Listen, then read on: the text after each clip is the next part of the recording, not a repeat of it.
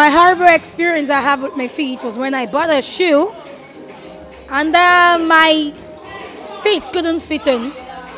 And um, I had to start walking to see if I had a bruise on my leg. I like. I know that feeling.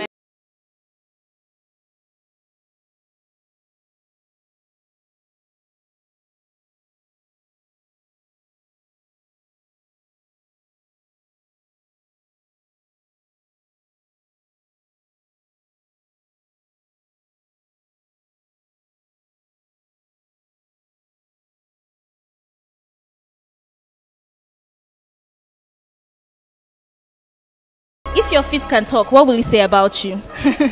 some people's feet will say bad things about them, and some other people it would compliment them and all. Today on BattaBox, I'm at Confidence Feet exhibition where people would attend yoga sessions, seminars, and also hot body massage, foot massage. All of this is to make sure that you know the importance of taking care of your feet and understand how it works.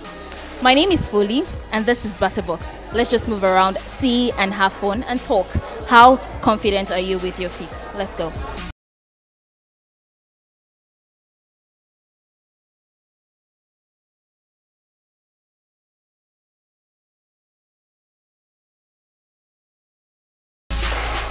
The Confident Feet exhibition is a non-profit initiative powered by Pedisbox. It started off with a Happy Feet workshop from the Nail Bar, then a lecture on improving postural stability with yoga simple exercises to keep loving your feet by Breathe Studio. This is basically about standing poses of yoga that can help build solid and stable foundation in the feet. And ended with a lecture on spiral health, posture, wellness of the feet by certified chiropractor. This is an awareness bringing people from all walks of life to help them change the way they think about their feet and understand the importance of taking care of them.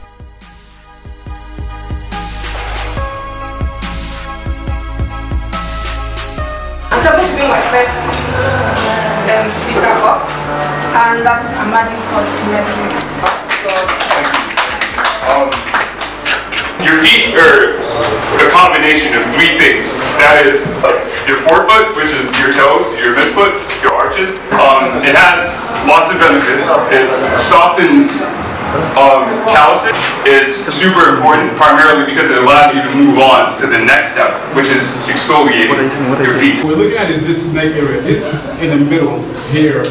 Right now, you're looking at an uh, upper cervical that has misalignment, which is slowing down the blood flow, nutrients, and so on and so forth. Now, with a chiropractic adjustment, well, first of all, with a chiropractic analysis to figure out which area or areas to adjust, what we do is we make a specific adjustment to the neck area to bring the neck back on straight. I wanted to add another thing about yoga. One, one thing we also focus on in yoga is about lengthening. If you notice with your spine, when you, when you kind of show it on whatever, you have a lot of muscle, a lot of bones attached to your spine. To lift something that needs good muscles, it's going to be trying to hire other muscles around to help with, and these muscles are not built for that. Which area works best for the for the for the pose? So I'm trying to find the balance there. And once I find the balance there, my ankle is locking. I'm finding balance in my knee. It's coming up to my hip. I'm trying not to move forward and back. It's coming up to my hip. So all of this I'm doing now, I'm distracted. I've forgotten even my legs up because I'm strong enough to hold it up. I'm kind of distracted. So as you're breathing in, you're losing focus. You're losing the tension in your leg. And your sympathetic nervous system starts to starts to reduce.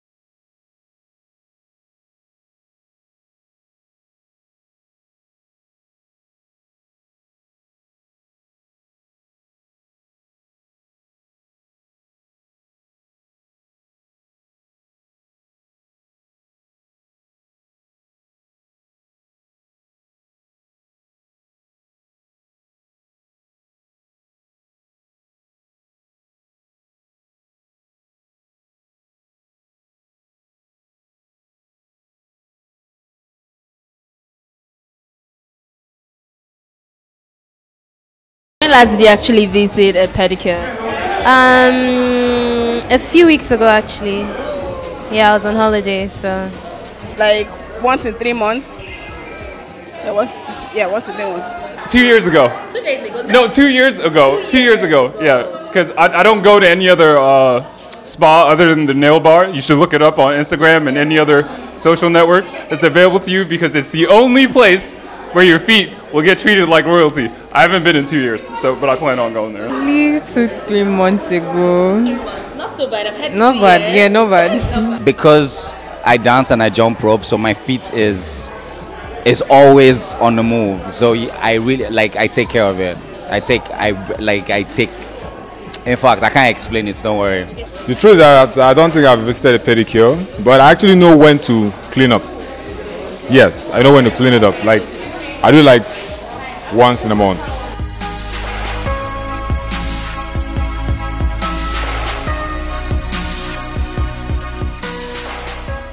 So now, um, I want you to like share like maybe one horrible experience you had with your feet. Like maybe you stepped your feet on somewhere, or you hit your feet, or whatever. Like a horrible experience. Or something like that. Hmm. It happened almost three years now. I had an auto accident that almost claimed my two legs.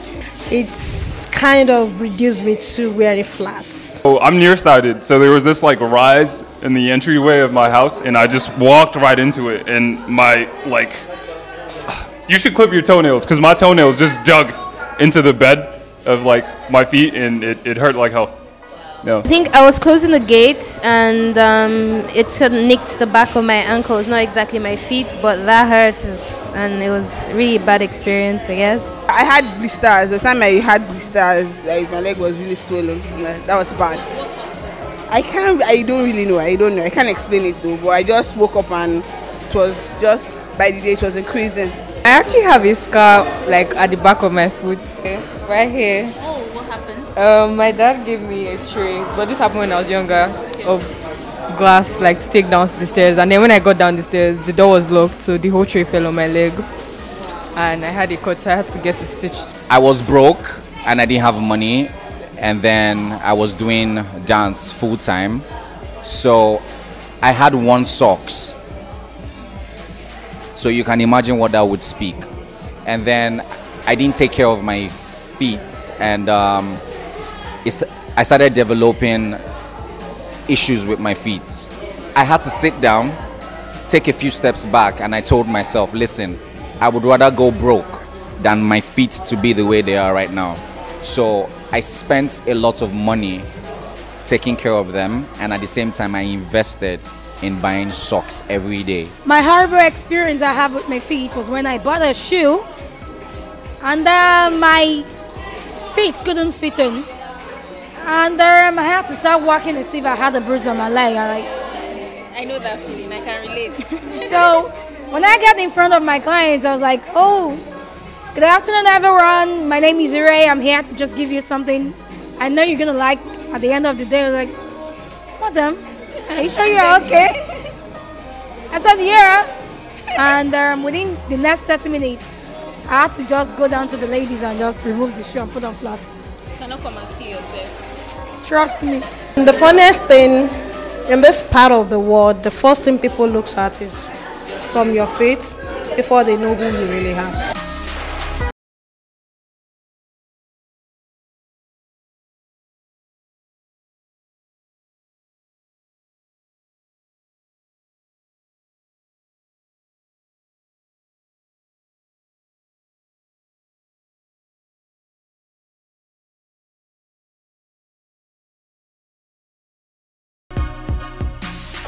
So between your toes, like everything, the more they move, the more blood can flow.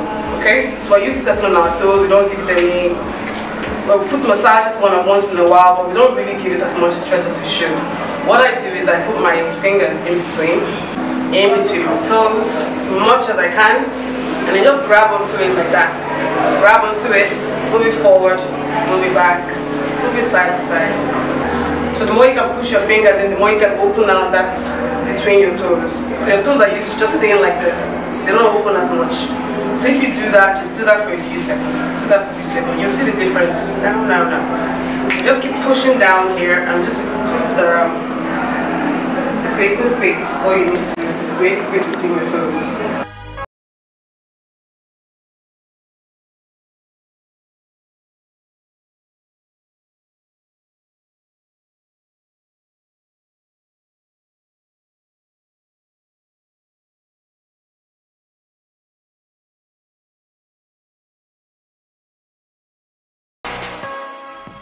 Now, what is your shoe size? Okay, we're 44, 45. Yes. I'm a size 45, which is an 45, uh, which is an equivalent to the US 13.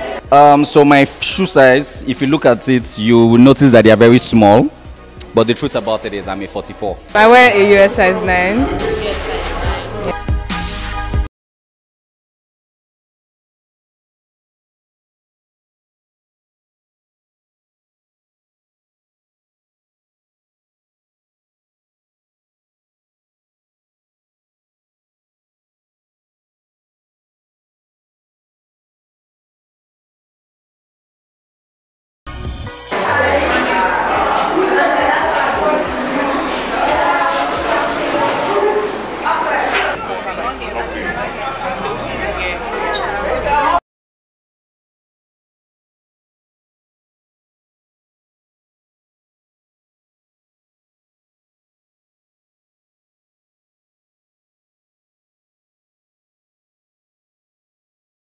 Finally, after the seminars, people had free yoga classes, foot rub massages, body waxing, and of course, ended with networking, laughs, food, and drinks.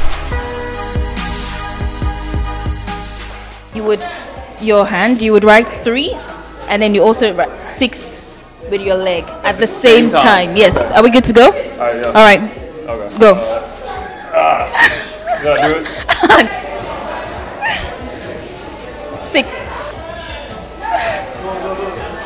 At the same time.